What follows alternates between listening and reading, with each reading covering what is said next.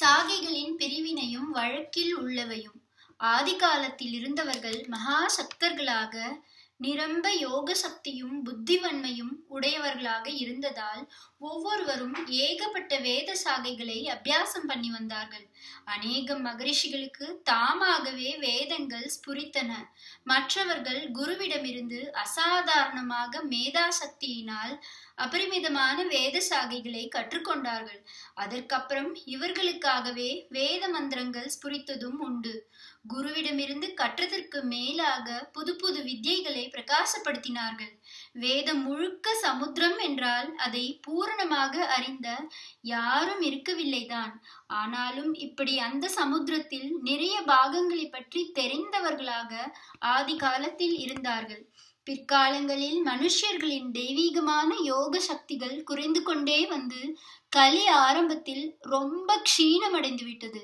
ஜனங்களின் ஆயுஷ் ஆரோக்கியம் புத்தி பலம் எல்லாமே ரொம்ப குறையலாயிற்று. புராணங்களில் இப்படி சொல்லியிருப்பதைத்தான் மேலே சொன்ன நச்சினார்க்கினியர் உரையிலும் சின்னாட் பல்பினி சிற்றறிவினோர் என்று சொல்லியிருக்கிறது. இதெல்லாம் பரமாத்மாவின் லீலைதான். ஏன் இப்படி குறைய வேண்டும் என்றால் சொல்ல தெரியவில்லை. வேதங்களை நிரம்ப கற்று யஜ்ஞாதிகளும் முடிவிலே ஆத்ம விசாரமும் பண்ணிக்கொண்டு வந்தவர்கள் தலைமுறை தலைமுறையாக நன்றாக விருத்தியாகி கொண்டுதானே வர வேண்டும் அப்படி இல்லாமல் ஏன் க்ஷீணமடைய வேண்டும் என்று கேட்டால் பதில் சொல்ல தெரியவில்லை. பரமாத்மா ஒரே மாதிரி இல்லாமல் நூத்தன நூத்தனமாக விசித்திரமாக விளையாடி கொண்டு இந்த லோக நாடகத்தை நடத்துவதால் இப்படி இருக்கிறது என்றுதான் சொல்ல வேண்டியிருக்கிறது. ஆகக்கூடி எவல்யூஷன் எவல்யூஷன் என்று உயிரினம் மேலே மேலே அபி அபிவிருத்தி ஆகிற கிரமத்திலேயே சிருஷ்டி போய்கொண்டிருக்கிறது என்று டார்வின் முதலானவர்கள் சொன்னாலும் ஆத்மீகமாகவும் புத்தி பிரகாசம் நல்ல குணம் யோக சக்தி முதலியவற்றை வைத்தும் பார்க்கிற போது எவல்யூஷனுக்கு நேர் மாறாக கீழே கீழே டிகிரி போவக போவதாகத்தான் இருந்திருக்கிறது. இதிலே ஒரு ஃப்ரீசிங் பாயிண்ட் அப்படியே குளிர்ந்து உறைந்து போய்விடுகிற நிலை மாதிரி கலியுக ஆரம்பம் வந்தது. கிருதயுகத்திலிருந்து மனுஷர்களின் சக்தி குறைந்து கொண்டே வந்திருக்கிறது. அந்த யுகத்தில் அஸ்தி எலும்பு இருக்கும் வரை ஒருத்தருக்கு ஆயுஸ் இருக்கும். ரத்தம் மாம்சம் எல்லாம் வற்றி போய்விட்டாலும் கூட எலும்பு கூடு உளுத்து விழுகிற வரையில் உயிரோடு இருப்பார்கள். அவர்களுக்கு நிரம்பவும் தியான சக்தி உண்டு. அவர்களை அஸ்திகத பிராணர்கள் என்று சொல்லியிருக்கிறார்கள். திரேதாயுகக்காரர்கள் மாம்சகத பிராணர்கள் அதாவது ரத்தம் சுண்டிவிட்டால் கூட மாம்சம் அழுகுகிற வரை உயிரோடு இருப்பார்கள். இவர்களுக்கு யஜ்ஞாதி கர்மாக்களை பண்ணும் சக்தி விசேஷமாக உண்டு. துவாபர யுக ஜனங்களுக்கு ருதிரகத பிராணர் என்று பெயர். ருத்ர ருதிரம் என்றால் ரத்தம் தமிழில் உதிரம் என்று ஆகியிருப்பது இதுதான். இவர்கள் ரத்தம் வற்றுகிற வரை ஜீவனோடு இருப்பார்கள். பூஜை பண்ணுவதில் இவர்களுக்கு சக்தி அதிகம். அப்புறம் இப்போது கலியுகத்தில் இருக்கிற நாம் அன்னகத பிராணர்கள். சோறு உள்ளவரைதான் நமக்கு உயிர் உடம்பில் தரித்திருக்கும். நமக்கு தியான சக்தி கர்மானுஷ்டான சக்தி பூஜை பண்ணும் சக்தி எதுவும் இல்லை. கிருஷ்ணா ராமா என்று நாமாவை சொல்கிற சக்தி தான் இருக்கிறது. நாமாவே காப்பாற்றிவிடும் என்பது வாஸ்தவம்தான். ஆனாலும் அதற்காக பிரம்ம சிருஷ்டியிலிருந்து வந்திருக்கிற வேதங்களை அழிந்து போகும்படி பண்ணலாமா? அது பெரிய நஷ்டம் அல்லவா அந்த நஷ்டத்துக்கு ஹேது கிருஷ்ண பகவானின் தேஜோ தேகோத் சர்ஜத்தோடு தேக வியோகத்தோடு பெரிதாக ஆரம்பித்தது. கிருஷ்ண பரமாத்மா சரீரத்தை பரித்தியாகம் பண்ணிவிட்டு லோகத்தை விட்டு புறப்பட்டவுடன் ஒரு பெரிய இருட்டு வந்து சூழ்ந்து கொண்டு விட்டது. கிருஷ்ண பரமாத்மா பேரிலும் இருட்டு. கிருஷ்ணா மீன்ஸ் கருப்பு. அவர் பிறந்ததும் இருட்டு. காராகிரகத்திலே நட்ட நடிசியிலே அவர் பிறந்தார். ஆனால் அவரே லோகத்துக்கெல்லாம் ஞான ஜோதியாக இருந்தார். கருணை ஜோதியாக அருட்பெரும் ஜோதியாகவும் இருந்தார். அவர் மறைந்ததும் ஞானத்துக்கு பெரிய ஹானி உண்டாகி பெரிய இருள் சூழ்ந்து விட்டது கெட்ட சக்திகளுக்கு ஒரு ரூபமாக இருக்கப்பட்ட கலிபுருஷனுக்கு அதிகாரம் ஏற்பட்டு விட்டது இதையெல்லாம் எதற்காகவோ பரமாத்மாவே விளையாடி பார்த்து கொள்கிற லீலைதான். ஒரே ஜோதியாக வந்தார். அப்புறம் ஒரே இருட்டு வந்துவிடுமோ என்று பயப்படும்படியான நிலையை உண்டு பண்ணினார். இதற்கப்புறம் ஒரு கருணை உண்டாகி லோகம் இப்படி ஒரேடியாகி வீணாகி விட வேண்டாம். கலிக்கு கொஞ்சம் மாற்று மருந்து. கலியின் விஷத்தை முறிக்கிற மருந்து கொடுத்து ரட்சிக்கலாம் என்று நினைத்தார். வேதம்தான் அந்த மருந்து. கலிபுருஷன் அதை கபலீகரம் பண்ணிவிடாமல் காப்பாற்றிவிட்டால் போதும். லோகம் பிழைத்து கொள்ளும். இருட்டிலே அது ஒரு விளக்காக வழிகாட்டி கொண்டிருக்கும் என்று பரம கருணையோடு எண்ணினார். பழைய மாதிரி வேதம் ஜோதியாக பிரகாசிப்பது கலியில் சாத்தியமில்லை. கலிபுருஷனுக்கு அதிகாரம் கொடுத்த பின் அப்படி பண்ணுவதற்கில்லை. ஆனாலும் அது குறைந்த அளவுக்காவது எவ்வளவு பிரகாசிக்க வேண்டுமோ அந்த அளவு இருக்கும்படி பண்ண வேண்டும் என்று நினைத்தார். தம்முடைய அம்சாவதாரமான வேதவியாச மகரிஷி மூலமாக இந்த பெரிய உபகாரத்தை செய்தார். அப்போது வேதவியாசருக்கு அந்த பெயர் இருக்கவில்லை. அவருடைய இயற்பெயரும் கிருஷ்ணர் என்பதுதான்.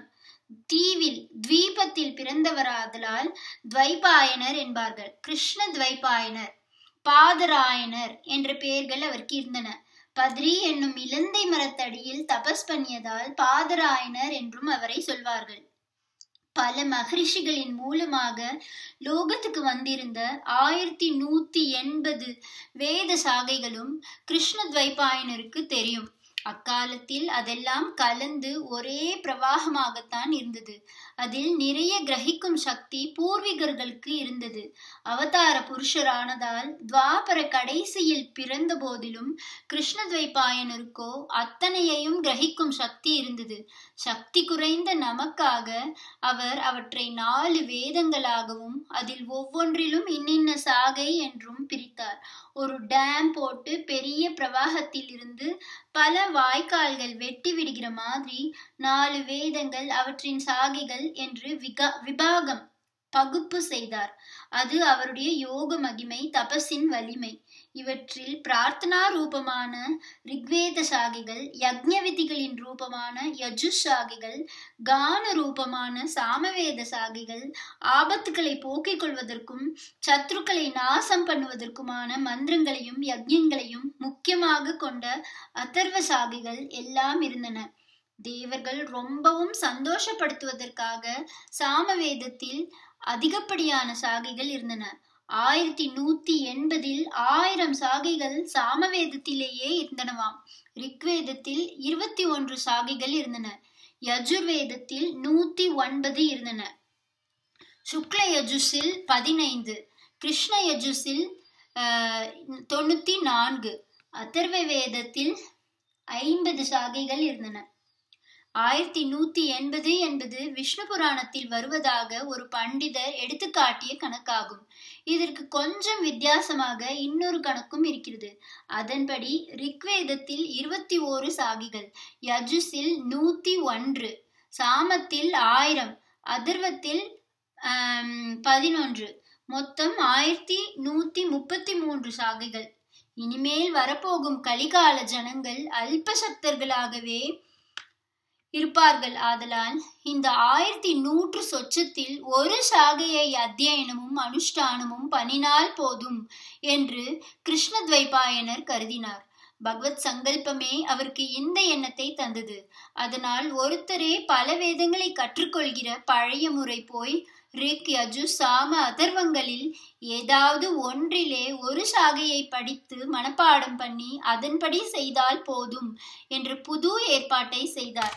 தம் சிஷ்யர்கள் நாலு பேரில் ஒவ்வொருவரிடமும் ஒரு வேதம் என்று பிரித்து கொடுத்து இதன் சாகைகளை நீங்கள் பிரச்சாரம் செய்யுங்கள் என்று ஆக்ஞை பண்ணினார்.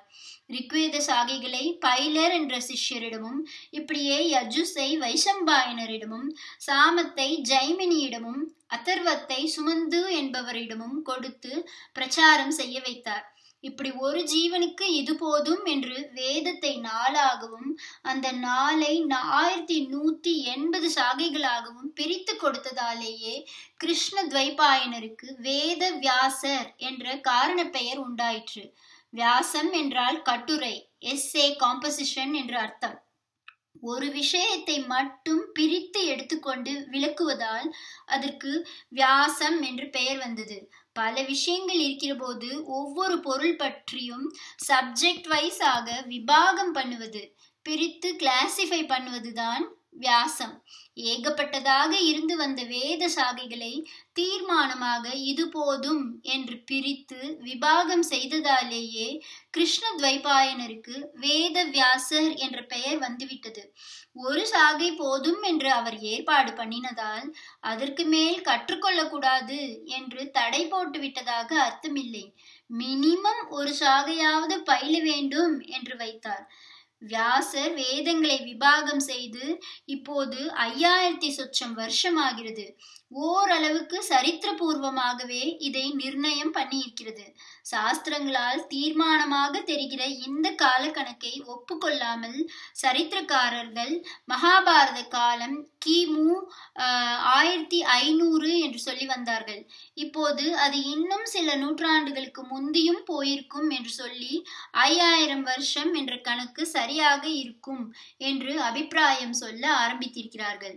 வியாசர் விபாகம் பண்ணின பிறகும் ரொம்ப காலம் ஒருவரே ஒரு வேதத்தில் ஒரு சாகையை அத்தியனம் செய்த பின் இன்னொரு வேதத்தின் இன்னொரு சாகை அப்புறம் மூன்றாவதாக பின்னும் ஒரு வேதத்திலே ஒரு சாகை என்றெல்லாம் அத்தியனம் பண்ணி வந்திருக்கிறார்கள். இன்றைக்கும் வடக்கத்தியர்களின் பெயர்களுக்கு பின்னால் சதுர்வேதி திரிவேதி திரிவேதி த்விவேதி என்றெல்லாம் வருவதை பார்க்கிறோம். திரிவேதி ஒருத்தர் கவர்னராக கூட இருந்தார். துபே தபே என்பதெல்லாம் த்விவேதி என்பதன் திரிபுகள்தான். நாலு வேதங்களிலும் ஒவ்வொரு சாகை அத்தியனம் பண்ணினவர்களின் பரம்பரையில் வந்தவர்களே சதுர்வேதி என்கிறவர்கள். இவர்களை பெங்காலில் சாட்டர்ஜி என்பார்கள். மூன்று மூன்று வேதங்களில் அத்தியனம் பண்ணினவர்கள் திரிவேதிகள். ரெண்டில் பண்ணினவர்கள் த்விவேதிகள். இப்போது ஒன்றை கூட பண்ணினவர்கள் ரொம்பவும் அபூர்வமாகிவிட்ட போதிலும் குடிப்பெயரிலாவது இப்படி ஒன்றுக்கு மேற்பட்ட வேதங்களை அத்தியனம் பண்ணின பூர்வீகர்கள் இருந்திருக்கிறார்கள் என்பதற்கு அத்தாட்சி கிடைக்கிறது. ஞான சம்பந்தர் தம்மை நான்மறை ஞான சம்பந்தன் என்று சொல்லிக் கொள்கிறார். நாலு வேதங்களையும் அத்தியனம் பண்ணினவர் அவர். அம்பாளின் க்ஷீரத்தை பானம் பண்ணினவர் ஆதலால் அவருக்கு சகல வேதங்களும் உடனே தெரிந்திருக்கும். இந்த ஐயாயிரத்தி சொச்சம் வருஷத்தில் அநேக சாகைகள் வழக்கொழிந்து போய்விட்டன. கொஞ்சம் கொஞ்சமாக தேய்ந்து கொண்டே வந்து ஆயிரத்தி நூத்தி எண்பது என்பது சமீப காலமாக ஆறேழு சாகைகளில் நிற்கிற பரம துர்பாகிய ஸ்திதியில் இருக்கிறோம். சாகை என்று அதில் முதலில் வரும் சம்ஹிதையை சொல்கிறேன். ரிக்வேதத்தின் இருபத்தி ஓரு சாகைகளில் இப்போது இருக்கிறது ஒன்றுதான். சாக்கல சாகை என்று அதற்கு பெயர். ஐத்ரேய உபனிஷத் வருகிற சாகை ஆதலால் ஐத்ரேய சாகை என்றும் சொல்வதுண்டு. சுக்லயஜுஷின் பதினைஞ்சு சாகைகளில் இப்போது ரெண்டு தான் இருக்கின்றன. கான்வ சாகை என்பது மகாராஷ்டிரத்தில் இருக்கிறது. மாத்தியந்தின சாகைதான் வட இந்தியாவில் நிறைய இருக்கிறது. கிருஷ்ணயஜுசின் தொண்ணூத்தி நான்கு சாகைகளில் தைத்திரியம்தான் அதிகம் உள்ளது. தக்ஷணத்தில் மிகவும் அனுஷ்டானத்தில் இருப்பது இதுதான். சஹசிர சாகை கொண்ட சாமத்தில் தொள்ளாயிரத்தி தொண்ணூத்தி ஏழை பறிகொடுத்து விட்டோம். தமிழ்நாட்டில் தலவக்கார சாக்கை எனப்படும் ஜைமினிய சாக்கை ஒன்றுதான் எஞ்சியிருக்கிறது. மகாராஷ்டிரத்தில் மட்டும் கொஞ்சம் ராணாயணிய சாக்கை என்பது இருக்கிறது. மேற்கே குஜராத் முதலான இடங்களிலும் கேரளத்திலும் கௌ கௌதம சாகை என்பது இருக்கிறது. அதர்வத்தின் ஐம்பது சாகைகளில் ஒன்று கூட இல்லையோ என்று பயந்து கொண்டிருந்தோம்.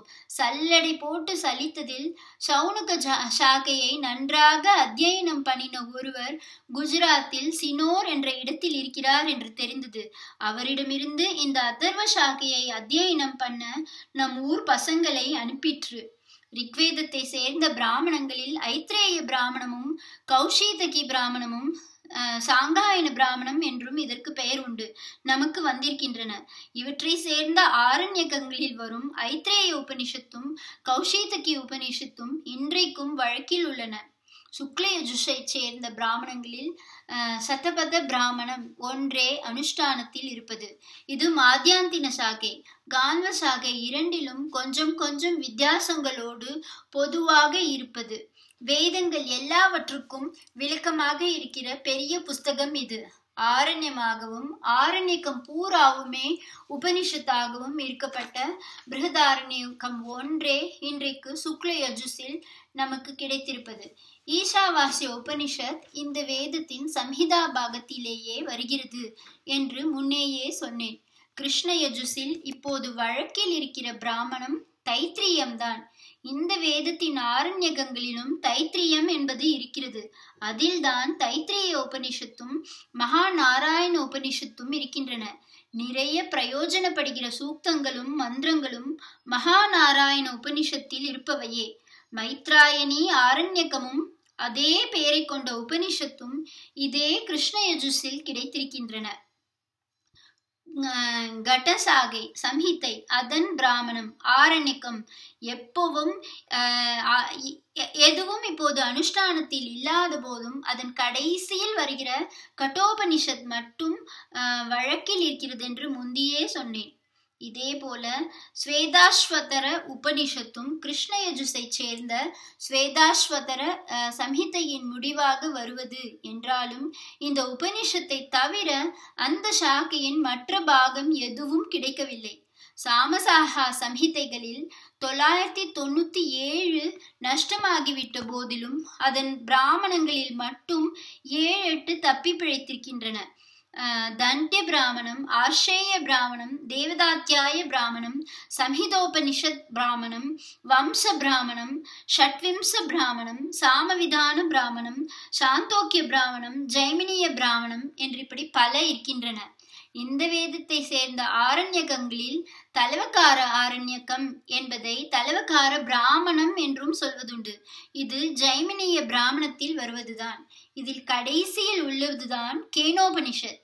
அதனால் அதற்கு தலவக்கார உபனிஷத் என்றும் ஒரு பெயர் இருக்கிறது.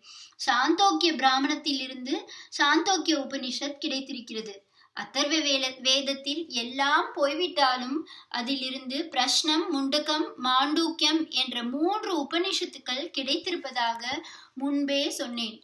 நிருசிம்ம தாபினி உபனிஷத்தும் அதர்வத்தை சேர்ந்ததுதான். இந்த வேதத்தில் நமக்கு கிடைத்துள்ள ஒரே பிராமணத்துக்கு கோபத பிராமணம் என்று பெயர். ஆயிரத்தி நூத்தி எண்பது சாகிகளில் இப்படி ஏழெட்டு மட்டும் மிஞ்சி இருப்பதும் கூட அடுத்த தலைமுறைக்கு நசித்து போய்விடும்படியாக பண்ணிவிட்டால் அது மகா பாபமாகும். ஒரு பரிகாரமும் பிராயச்சித்தமும் இல்லாத பாபமாகும். திராவிட தேசம் என்று சொல்லப்படுகிற தக்ஷண தேசத்தில் கேரளத்தில் வேத வித்யானது நம்போதிரிகளுக்குள் இன்னமும் அணையாமல் இருந்து வருவதை சொன்னேன். அடுத்தபடியாக ஆந்திரத்தில் வேதாபியாசம் சமீபம் வரையில் நன்றாக நடந்திருக்கிறது. இதற்கு பெரிய ஆதரவாக இருந்தது விஜயவாடாவில் நவராத்திரி சமயத்தில் நடத்தி வந்த வருஷாந்திர பரீட்சைகளும் வித்வத் சதசும் ஆகும். பரீட்சையில் தேறினவர்களுக்கும் சதசில் கலந்து கொண்ட பண்டிதர்களுக்கும் ரொக்கமாக பணம் கொடுத்து சம்மானிப்பார்கள். அதோடு கூட ஒரு சர்டிபிகேட் நற்சான்று பத்திரம் கொடுப்பார்கள். இதிலே விசேஷம் என்ன என்றால் இந்த பரீட்சைக்கும் சதசுக்கும் வெளியூர்களில் இருந்து தூர தூர பிரதேசங்களில் இருந்து கூட பிரம்மச்சாரிகளும் கிரகஸ்த வைதிகர்களும் வருவார்கள். பிற்பாடு இவர்கள் தங்கள் ஊருக்கு திரும்புகிற போது வழியில் உள்ள கிரகஸ்தர்களின் வீடுகளில் சர்டிபிகேட்டை காட்டினால் அந்த கிரகஸ்தர்கள் இவர்களுக்கு நிரம்ப மரியாதை செய்வார்கள். இவர்களை அதிதிகளாக உபசரித்து சத்காரம் செய்வதோடு தாங்கள் அவர்களும் திரவிய சம்மானம் செய்வார்கள். இதே மாதிரி ஆந்திர தேசத்தில் ஒரு கல்யாணம் பண்ணும்போது அதிலே வேத பண்டிதர்களுக்கென்று ஒரு பங்கு தட்சிணையாக ஒதுக்குகிற வழக்கமும் இருந்தது. இப்பேற்பட்ட கேஷ் இன்சென்டிவ்கள் ரொக்க தொகை தருகிற ஊக்க உற்சாகம் காரணமாக வேதாபியாசம் ஆந்திர தேசத்தில் செழிப்பாக இருந்தது. பிராமணன் பணம் பணம் என்று பறக்கக்கூடாதுதான். அப்படி பறந்தால் அவன் பிராமணனே இல்லை. ஆனாலும் வேதம் தவிர மற்ற எந்த தொழில் போனாலும் பர்ஸ் நிறைய பணம் வரும். வேதத்துக்கு வைதீக வாழ்க்கைக்கு போனால் அன்ன வஸ்திரத்துக்கு கூட வழி இல்லாமல் அவஸ்தைப்பட வேண்டியதுதான் என்கிற சூழ்நிலை போய் வைதிகனும் ஓரளவு சுபிக்ஷமாக நிர்விச்சாரமாக ஜீவ யாத்திரை நடத்த முடியும் என்பதற்கு ஏற்பாடு செய்து கொடுக்கத்தான் வேண்டியிருக்கிறது. அப்படி செய்ததால் தான் தெலுங்கு தேசத்தில் சமீப காலம் வரையில் வேதாபியாசம் ஓரளவுக்கு நல்ல நிலையில் இருந்திருக்கிறது. தேசம் பூராவுக்கும் திட்டம் போட்டு குறிப்பாக தமிழ்நாட்டில் இப்படி அவசியமான திரவிய சகாயத்துக்கு வழிகள் செய்துதான் இப்போது வேத பாடசாலைகளை உயிர்ப்பிக்க பாடுபட்டு கொட்டி கொண்டிருக்கிறோம்.